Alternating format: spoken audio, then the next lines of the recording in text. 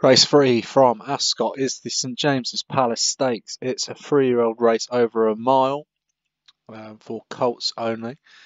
Best of both worlds for Joshua Sutherland. Barrero Playful for Hems. Die Calori for Obi-Wan.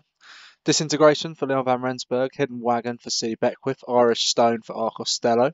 Jesmy and Al Thomas for Davilad. Marmolejo for D. Thompson. Melange Profit for Steve Rann. Mossagin Blue for James Shea, Mutafarwig for Shadwell, Pint of Class for Mark Jones, Santa Physio for Player 1, Sneaky Pete for Dan Hughes, St Julian's Bay for D Thompson, and Tajikistan, the 4 to 1 favourite for Paul Rhodes, heads up the field of 16 that go to post. And they're off over the straight mile. And Sneaky Pete is taken up with best of both worlds field has split slightly. We've got uh, Mutafarwig on the far side with best of both worlds. Sneaky Pete is leading the near side. St Julian's Bay is just in behind the leaders on the rail. Hidden Wagon just in behind them. They're back on the near side. You've got Marmolejo for D Thompson. On the nearest to us is Santa Physio. Best of both worlds is making the best of their way home, followed by Mutafarwig.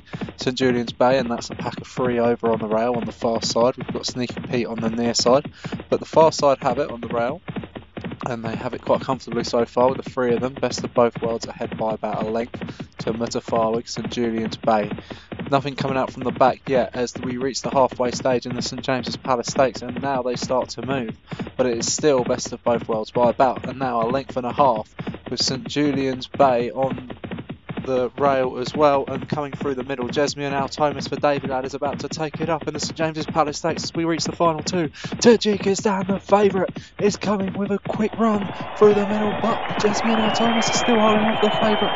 It's Jesmian Al Thomas from Tajikistan. Best of both worlds. Motajin Blues come out the pack. Tajikistan, the favourite, has hit the lead as they approach the furlong pole. And it's Tajikistan by about a half a length.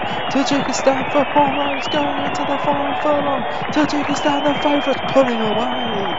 It's one for Paul Rhodes. It's a great one. It's the St James's Palace Stakes, and it goes to Tajikistan. Good win there for Paul Rhodes.